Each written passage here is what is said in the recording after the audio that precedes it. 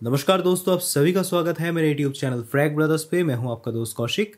और आज के इस वीडियो पे हम बात करने वाले हैं परफ्यूम मेकिंग के साथ जुड़े गए कुछ कोर कॉन्सेप्ट्स के बारे में, जिनके बारे में जानना आपके लिए बहुत ही ज़रूरी है। अगर आप परफ्यूम में इस्तेमाल करने वाले जो चीज़ें हैं, उनकी मात्रा को समझना चाहे तो। अर्थात ये जो हम गैलेक्सोलाइड आई एस सुपर, फिर जो एसेंशियल ऑयल्स हैं, जो लिनानॉल जेरेनियल जो एल्कोहल्स है फ्रेगरेंट एल्कोहल जो है मोनोटर्पिनॉइड अल्कोहल्स, या फिर सिस्क्यूटरपिन अल्कोहल्स जो है, इनकी एप्लीकेशन के बारे में, अर्थात किस मात्रा में इनको हम डालें, क्यों डालें, ये सब अगर आपको जानना है तो ये वीडियो आपके लिए सुटेबल है। तो मेन टॉपिक में जाने से पहले दोस्तों, कुछ सवालों के जवाब मैं देना चाहूँगा, जो मुझसे सबसे ज़्यादा पूछा जाता है। फ़र्स्ट क्वेश्चन मेरा प्राइमरी प्रोफेशन क्या है? मैं क्या करता हूँ? So presently I am working as a consultant perfumer a freelancer and I am working with many companies बहुत सारे कंपनीज़ हैं जिनके साथ मैं फ्रीलांसर परफ्यूमर के तौर में, एक सलाहकार परफ्यूमर के तौर में मैं काम करता हूँ। मैं किसी का एम्प्लॉय नहीं हूँ डायरेक्टली पर मैं जो चीज़ें बनाता हूँ, मैं जो परफ्यूम की डिज़ाइन करता हूँ, ये मैं उनको बताता हूँ। मैं उनको बेचता हूँ एक तरह से। कंपनी जो परफ्यूम जो कमर्शियल तौर पे डेवलप करती है, उसमें इस्तेमाल होने वाले केमिकल्स की जो बैलेंस है वो कैसे तय किया जाए, उस टाइप की जो इन्फॉर्मेशन है, जो एडवाइसेस है, ये मुझसे लेते हैं। तो ये है मेरा primary work and the secondary work which I do is the dealing of aroma chemicals तो ये भी एक तरह से परफ्यूम मेकिंग फ़ील्ड का ही एक जुड़ा हुआ हिस्सा है। अब दूसरा अहम क्वेश्चन ये है कि परफ्यूम मेकिंग क्या घर बैठे सीखा जा सकता है? तो दोस्तों ऑनेस्टली बताऊँ तो परफ्यूम मेकिंग घर बैठ के करना बहुत ही मुश्किल है। क्योंकि बहुत सारी चीज़ें हैं जिनको आपको सूखना होता है पढ़ना होता है और आमने सामने बैठ के एक्सपेरिमेंट करना होता है। तब जाके आपकी जो गलतियाँ हो रहा है या फिर आप जिस तरह से चीज़ों को बना रहे हैं, उसमें क्या और ऐड करना है, ना करना है, ये आपको बताया जा सके। यह है रियलिटी कि अगर आपको परफ्यूम मेकिंग सच में कंप्लीटली सीखना है तो आपको आमने सामने होना होगा उस व्यक्ति के साथ जिसको ये सब्जेक्ट आता है। अब, अभी अगर आप एक परफ्यूमर के साथ जुड़े हुए नहीं हैं, या फिर आपको अंदाज़ा नहीं है कि क्या करना है, आप मशवरा लेके कुछ करना चाहते हैं तो ये भी पॉसिबल है, पर इसमें सक्सेस पर इसमें सक्सेस रेट जो है ये थोड़ा कम है। क्योंकि हर दूसरे व्यक्ति की अंडरस्टैंडिंग कुछ और होता है। तो कैमरा के इस पार में मैं कुछ बोल रहा हूँ और उस पार आप क्या कर रहे हैं वो मैं देख नहीं सकता। तो इन दैट केस अगर आप गलती करेंगे तो मैं समझ नहीं पाऊँगा। पर मैंने एक परफ्यूम मेकिंग का कोर्स अभी रखा है। ऑनलाइन में भी है ये कोर्स। इस कोर्स को आप ज्वाइन कर सकते हैं, जहाँ पे परफ्यूम मेकिंग मैं सिखाता हूँ, पाँच हज़ार रुपये में लेता हूँ, दस क्लास में ऑफ़र करता हूँ। ये कोई एक, दो, तीन, चार फार्मूला सीखने वाली क्लास नहीं है। यहाँ पे परफ्यूम की जो फाउंडेशन है, किस तरह से एक परफ्यूम को डिज़ाइन किया जाता है, क्या स्ट्रक्चर है, कैसे हम केमिकल्स को सिलेक्ट करते हैं, डालते हैं, इनके बारे में डिटेल आपको मिलेगा। So it's a basic foundation course which you can join total number of classes are ten and the fees of this course is five thousand only तो इसके बारे में अगर आपको कुछ जानना है तो मेरे जो नंबर है, इस नंबर में आप कॉल कर सकते हैं या फिर व्हाट्सअप कीजिए। तो अब टॉपिक में आते हैं दोस्तों, कि एक परफ्यूम की top note, middle note, base note में जाने वाली चीज़ों को हम कैसे तय करते हैं। देखिए, नेचुरल परफ्यूम में इस तरह की जो काम है, अर्थात एसेंशियल ऑयल्स को या फिर अत्तर को जोड़ के जो मिक्स्ड चीज़ें बनती है, उनका तो एक गाइडलाइन पहले एक वीडियो पे मैं बोल चुका हूँ। अभी जो मैं बोलने वाला हूँ, ये कमर्शियल परफ्यूम्स के लिए है। तो यहाँ पे बेसिकली टॉप नोट पे एसेंशियल ऑयल्स के साथ साथ जो अल्कोहल्स होते हैं मोनोटर्पिन अल्कोहल्स एक तरह से समझ लीजिए, इन अल्कोहल्स को हम इस्तेमाल करते हैं। अब मोनोटर्पिन क्या है सिस्क्यूटर्पिन क्या है, इनके बारे में मैं बाद में आपको बताऊँगा। अभी आप समझिए कि परफ्यूमरी में जो केमिकल हैं, उन केमिकल में एक लार्ज सेक्शन चीज़ें अल्कोहल्स है, जैसे जेरेनियल लिनालॉल सिट्रोनेलॉल रोडिनॉल एबानॉल ये जो लास्ट में O L O L O L लिखा गया है, ये सारे चीज़ें अल्कोहल है। तो ये अल्कोहल वाले जो चीज़ें हैं, इनको लेके जोड़ा जाता है एसेंशियल ऑयल के साथ टॉप नोट के लिए, खास तौर पे। क्योंकि टॉप नोट में एक फ्लो हमें मिलता है, एक डिफ्यूजन मिलता है, एक बूस्ट एक ऊम्फ आता है, जिसके लिए एसेंशियल ऑयल्स और एरोमो केमिकल्स दोनों मिक्स होकर रहते हैं। फिर आता है हमारा मिड नोट मिड नोट पे खास तौर पे अगर नेचुरल कुछ चीज़ें डालें तो एप्सल्यूट्स या फिर जो रेजिनॉइड्स है, वही चीज़ें डाला जाता है। फिर भी रेजिनॉइड्स बेस में एक्चुअली जाने वाले हैं मीट में उतना ज़्यादा काम नहीं करते। और जो अल्कोहल्स है, जो मोनोटर्पिन क्लास के भी हो सकते हैं सिस्क्यूटर्पिन क्लास के भी हो सकते हैं, इस टाइप के अल्कोहल्स को हम रखते हैं। और जो बेस है, उस बेस में भी वो ऑयल जो है अल्कोहल्स है, वो रहते हैं। उसके साथ अगर आप चाहे तो जो एसिडेट टाइप की जो चीज़ें हैं, उसको रख सकते हैं या फिर जो भारी मॉलिक्यूल्स होते हैं, खासतौर पे गैलेक्सोलाइड आई एस पर ये सारे चीज़ें हम डालते हैं। तो ये भारी हल्का ये बात क्या है, ये समझिए अच्छी तरह से।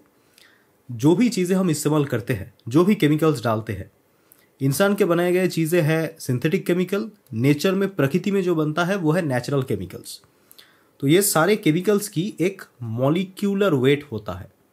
केमिकल्स की अणु होता है जो मॉलिक्यूल्स है। तो उस मॉलिक्यूल का ही एक मॉलिक्यूलर वेट होता है। जैसे फिनाइल इथाइल अल्कोहल 122 122 के आसपास है। वैसे ही गैलेक्सोलाइट की मॉलिक्यूलर वेट कुछ 250 के अराउंड या फिर 250 से थोड़ा ज़्यादा है 258 ऐसा कुछ। तो ऐसे जो चीज़ें हैं दोस्तों, इनकी जो मॉलिक्यूलर वेट्स है, इनको देख के ही हम समझ जाते हैं कि ये टॉप में जाएगा मीड में जाएगा या बेस पे जाएगा। टॉप में जाने वाले चीज़ें लोअर मॉलिक्यूलर वेट के होते हैं, हल्के होते हैं। जैसे हंड्रेड से लेके मान लीजिए 150 साठ तक जाने वाली चीज़ें ज़्यादातर टॉप नोट में आती है। फिर जो मिड नोट वाली चीज़ें हैं, वो आती है। उनसे थोड़ा भारी मॉलिक्यूल्स और बेस में जो जाएगा, वो बिल्कुल भारी भारी चीज़ें हैं। ये musk ambrette musk ketone musk xylol ये सब जो चीज़ें हैं, इनका मॉलिक्यूलर वेट देखना गैलेक्सोलाइड आई एस ये सब जाके गूगल में जाके चेक कीजिए मॉलिक्यूलर वेट सारे 200 के ऊपर मिलेंगे। कुछ कुछ चीज़ें 300 साढ़े तीन सौ में मिलेगा। और एक बात जान के चलिए, जितना मॉलिक्यूलर वेट ज़्यादा होता है, उतना ही उस मटेरियल की खुशबू आपके नाक में अच्छी तरह से आती नहीं है। Because human nose is less sensitive to heavier molecules it is more sensitive to the lighter ones जैसे फिनाइल इथाइल अल्कोहल आप सूखेंगे तुरंत आपके सर पकड़ लेगा, या फिर आपके सर में जाके एक हिट करेगा। The same thing also happens with the lower molecular weight aldehydes जैसे C nine C seven C eight बहुत शार्प है इन एल्डिहाइड्स की खुशबू। वहीं पे आप एल्डिहाइड चौदह, सोलह, सत्रह, ये सब चीज़ों को देखिए दे आर हेवी मॉलिक्यूल्स और ये टॉप नोट में आते भी नहीं है उस तरह से। बेसिकली उनकी जो रोल होता है, ये टॉप से लेके मिड के बीच ट्रांजिशन में रहता है या फिर टॉप में थोड़ा बहुत उनका एक प्लेफुलनेस देखा जाता है। तो मॉलिक्यूलर वेट एक बहुत ही अहम मुद्दा है that is number one point second point is odour strength odour strength क्या है? मान लीजिए मैंने एक भारी मॉलिक्यूलर वेट वाला चीज़ें ही लिया है, पर उसकी ओडोर स्ट्रेंथ जो है, उसकी जो खुशबू है, वो बहुत ताकतवर है। तो ओडो स्ट्रेंथ को देखने के बाद हमें यह पता लगाना होता है कि उसको हमें कितना डाइल्यूट करना है। अगर उसकी ओडो स्ट्रेंथ मीडियम या फिर लो है सॉरी दोस्तों मतलब थोड़ा सर्दी जुकाम है तो मेरा वॉइस कभी कभी चोक हो रहा है। तो आशा करता हूँ कि जो भी इश्यूज़ आएगा, इसको आप ओवरलुक करेंगे। तो ओडो स्ट्रेंथ में हमें खासतौर पे देखना होता है कि ओडो स्ट्रेंथ एक मॉलिक्यूल की क्या है। हाई है मीडियम है या लो है? बेसिकली जो लो ओडो स्ट्रेंथ वाले चीज़ें हैं, जो मॉलिक्यूल्स है, उनको डाइल्यूट नहीं किया जाता। डायरेक्टली इस्तेमाल किया जाता है। जिनके ओडो स्ट्रेंथ हाई है या फिर मीडियम है उनमें कुछ डाइल्यूशन कभी कभार इस्तेमाल होता है, नहीं भी होता है। मोस्टली और जो हायर डायमेंशंस के चीज़ें हैं, जो मतलब बहुत ही हाई ओडो स्ट्रेंथ वाले हैं they are need to be diluted first before use in any solution ऐसा नहीं है कि मैं अगरबत्ती का काम कर रहा हूँ तो मुझे इनका डाइल्यूशन का ज़रूरत नहीं है। डायरेक्ट डालो, बहुत खुशबू और पावरफुल आएगा। ऐसा नहीं है। ये सब करेंगे तो चीज़ें बर्बाद हो जाएगा। एक नोट दूसरे नोट पे हावी हो जाएगा।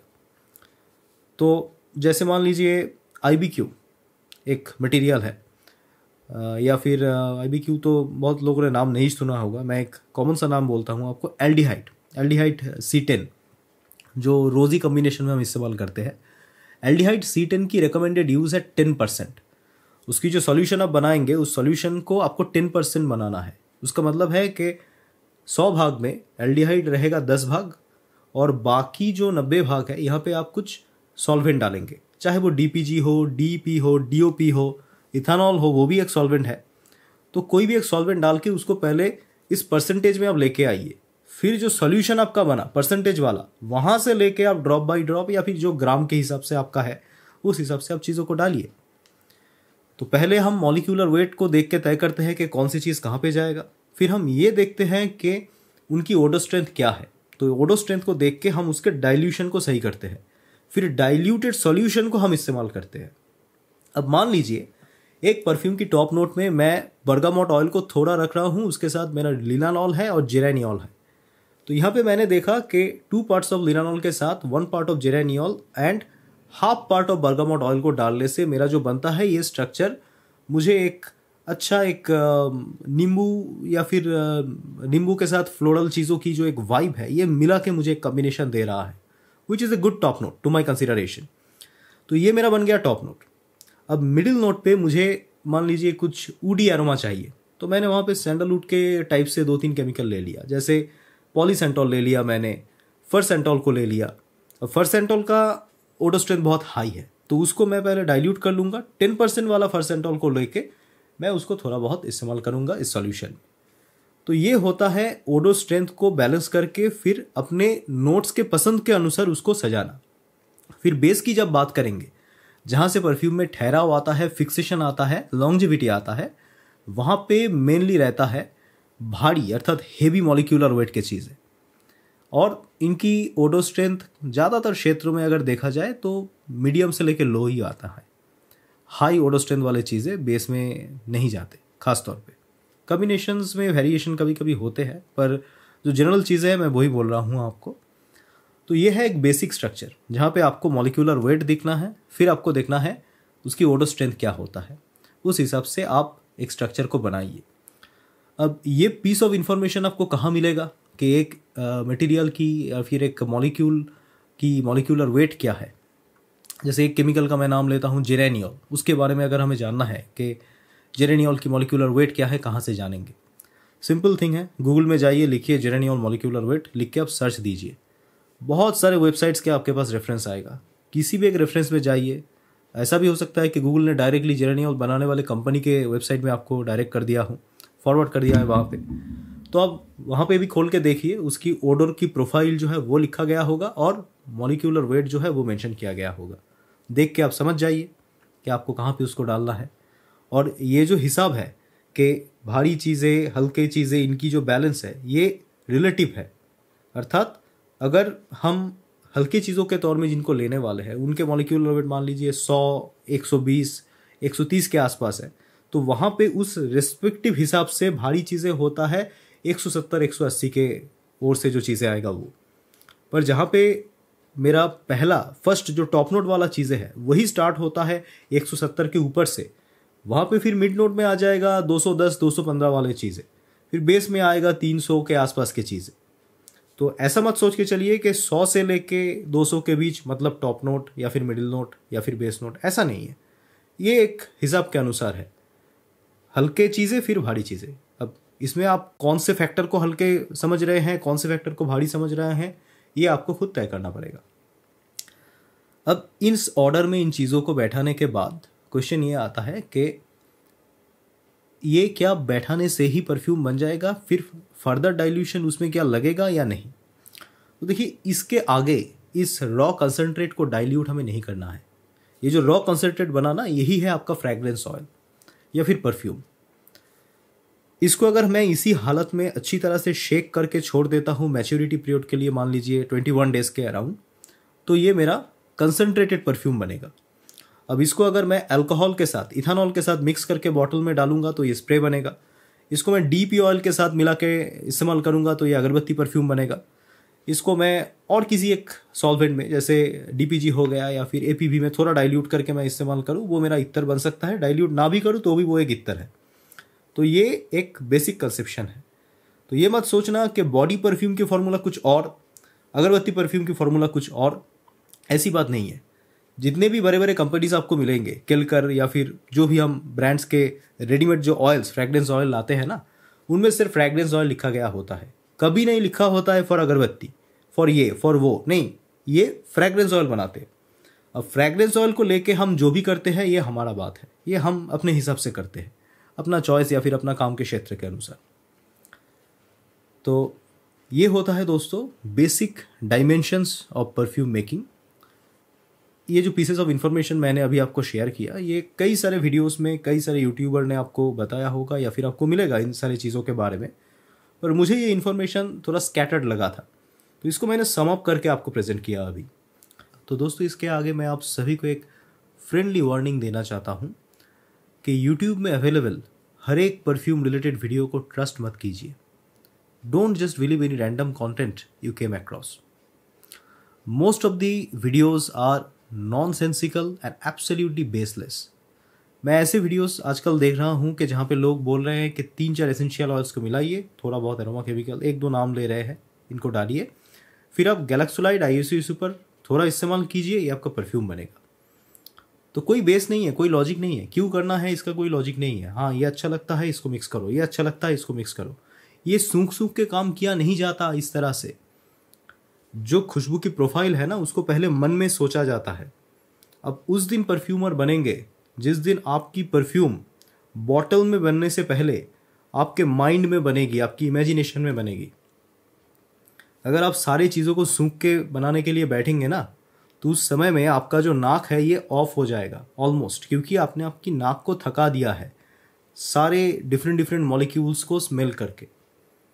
तो जैसे हम कुकिंग के दौरान देखते हैं कि जो लोग खाना पकाते हैं, उनको खाने में उतना मतलब ज़्यादा हंगर या फिर ज़्यादा उनका क्वेस्ट नहीं रहता, क्योंकि they are expose to the different kind of aromatic substances which are there in your kitchen तो the same thing happens in perfume making चीज़ों को सूखते हैं और उन्हें मिक्स करते हैं. This is not the right way अब पहले सूख लीजिए, दो तीन दिन से उन चीज़ों को स्टडी कर लीजिए, जान लीजिए पेपर स्ट्रिप में लगा के उनको सेंस कर लीजिए। फिर जब परफ्यूम बनाने बैठेंगे, तब हर एक स्टेप में नहीं सूखना है। तब चीज़ों को मिक्स कीजिए, पूरा प्रोसेस को कवर कीजिए, उसके बाद जाके उसको सूखिए। और जैसे वीडियोस में ये लोग, ज़्यादातर वीडियोस में मैं देखता हूँ कि बताते रहते हैं कि iso E super galaxolide, musk ambrette हर जगह पे जाने वाले हैं। तो ऐसा कुछ है ही नहीं, ऐसा कोई कॉन्सेप्ट ही नहीं है। ये कोई रिचुअल्स नहीं है कि किसी बाबा ने कह दिया कि आप इसको डालो तो आपका परफ्यूम अच्छा बनेगा। ये कोई मतलब नुस्खे भी नहीं है। This are all idiotic stuffs which are being shown to you because of the half knowledge और इनके चक्कर में आप जब ये गलत एक्सपेरिमेंट कर लेते हैं ना तो आपका परफ्यूम बनने से पहले ही वो ओवर इस्तेमाल ऑफ़ केमिकल के लिए नष्ट हो जाता है। कुछ हद तक आप सही ले जा रहे थे। अब रिचुअल के तौर में आप चीज़ें ऐड कर रहे हैं, फिर वो ऐड हो जाएगा, फिर जो नेचुरल एक फ्लो मिलने वाला था, वो मिला ही नहीं लास्ट में जाके। तो सचेतन हो जाइए दोस्तों अवेयरनेस को आप बरकरार रखिए। तो अभी कुछ किट्स है दोस्तों फिक्सिटिव वाले किट्स जो हमने आपके लिए ख़ास तौर पे सजाया है डिज़ाइन किया है।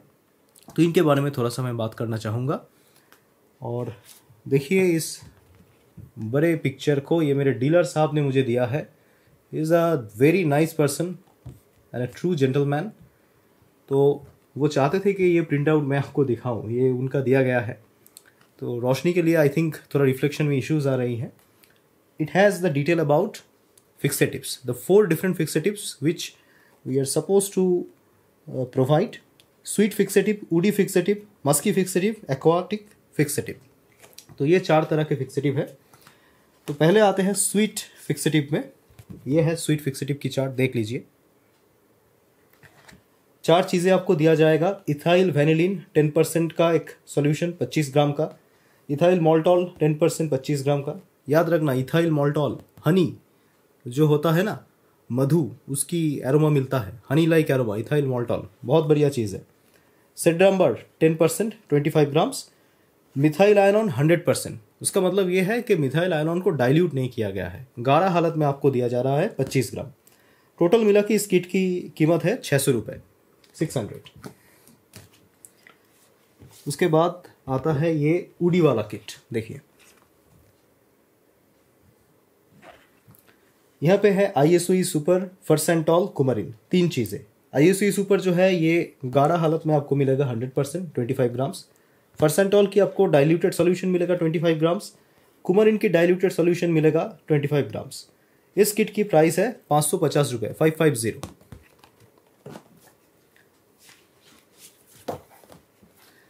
फिर ये आता है मस्क की फिक्सेटिव मस्क वाले चीज़ों की। Musk ambrette musk ketone musk xylol galaxolide. Musk ambrette है हंड्रेड परसेंट, गारा हालत में आपको मिलेगा पच्चीस ग्राम मस्कीटोन वो भी हंड्रेड परसेंट में आपको पच्चीस gram, musk xylol hundred percent में आपको पच्चीस ग्राम, गैलेक्सोलाइट हंड्रेड परसेंट में आपको मिलेगा पच्चीस ग्राम। यहाँ पे सिर्फ़ गैलेक्सोलाइट जो है, वही आपको लिक्विड सब्सटेंस के तौर में मिलेगा और ये सारी चीज़ें हंड्रेड परसेंट का अर्थ है ये सारे क्रिस्टल से आपको क्रिस्टलाइन फॉर्मेट में ही मिलेगा। This are all nitrogenous musk याद रखना दोस्तों musk ambrette musk ketone musk xylol जो भी ये नाइट्रोजेनस मस्क जो है, जिनमें, जिनके मॉलिक्यूल्स में नाइट्रोजन है, खासतौर पे कार्बन हाइड्रोजन ऑक्सीजन नाइट्रोजन की बॉन्ड है, इन्हें अगर आप, आपके परफ्यूम्स में इस्तेमाल करते हैं तो वहाँ पे कलर को लेके इश्यू आ सकते हैं। एक समय के बाद उस परफ्यूम की जो कलर है, वो कुछ रेडिश हो जाएगा। क्योंकि रोशनी के साथ इसकी एक रिएक्शंस होती है। ये नाइट्रोजन ग्रुप के जो मस्क है इन चीज़ों की। तो ये रिएक्शंस को रोकने के लिए आपको एंटीऑक्सीडेंट डालना होगा, पर हर जगह पे वो होता नहीं है। मतलब एंटीऑक्सीडेंट डालने के बाद भी कभी कभी ये इशू रह जाता है। So be careful body perfume को बनाने वाले लोगों को मैं बोलना चाहूँगा कि musk ambrette musk ketone musk xylol जो भी इस कैटेगरी के मस्क है नाइट्रोजन कैटेगरी के, इनको थोड़ा अवॉइड करके चले। खास ज़रूरत हो तब भी इस्तेमाल करें। वो भी डाइल्यूशन में। फिर आता है लास्ट वाला। देखिए, ये है एक्वाटिक किट इसमें आपको मिलता है कैलॉन फ्लोरालोजोन और एम्ब्रॉक्सन एम्ब्रॉक्सन बहुत ही कीमती केमिकल कैलॉन टेन परसेंट का पच्चीस ग्राम फ्लोरालोजोन इसका भी टेन परसेंट का पच्चीस ग्राम एम्ब्रॉक्सन का भी टेन परसेंट का पच्चीस ग्राम। टोटल कीमत है वन वन ज़ीरो ज़ीरो एक हज़ार एक सौ रुपये शायद लास्ट वाले का मैंने तब इसके पहले जो था, मस्क वाले का मैंने बताया नहीं था। दोस्तों, ये मस्क वाले का नाइन फाइव ज़ीरो था हाँ। तो ये जो चीज़ें हैं मतलब ये जो फिक्सेटिव्स है, इनको अगर आप एक साथ लेना चाहे सारी चीज़ों को तो ये आपको टोटल पैक चार अलग अलग फिक्सेटिव को एक साथ मिला के पड़ता है, दो हज़ार पाँच सौ रुपये टू फाइव ज़ीरो ज़ीरो तो आप लोग तो जानते ही हैं दोस्तों, जो भी एरोमा केमिकल्स की डील हम करते हैं ये सारे हमारे देख रेख में होता है और काफ़ी जाँच परखने के बाद ही एरोमा केमिकल्स को हम खरीदते हैं और आपको भी सप्लाई करते हैं। कुछ कुछ चीज़ें बाहर से हम डायरेक्टली इंपोर्ट करते हैं। कुछ चीज़ें मेरे जो डीलर है, ये बड़े डीलर से लेते हैं। अर्थात बॉम्बे में या फिर मान लीजिए दिल्ली में जो बड़े कंपनीज़ है, बहुत ही बड़े कंपनी उन लोगों ने डायरेक्टली इंपोर्ट किया है केमिकल को बाहर से। अब उस केमिकल को फिर मेरे डीलर साहब ने खरीदा है। And we forward this to you तो ये जो केमिकल्स है, जो भी हम आपको देने वाले हैं they are all quality tested material और बाहर से जो भी चीज़ हम लेते हैं, उन कंपनीज़ के हम C O A certificate of analysis को देख के ही खरीदते हैं। तो देर मत कीजिए दोस्तों, अगर आपको ये एरोमा केमिकल्स चाहिए तो आप मुझे कॉल कीजिए, मेरा नंबर है, संपर्क कीजिए, कोई एडवाइस भी चाहते हैं तो भी संपर्क करें।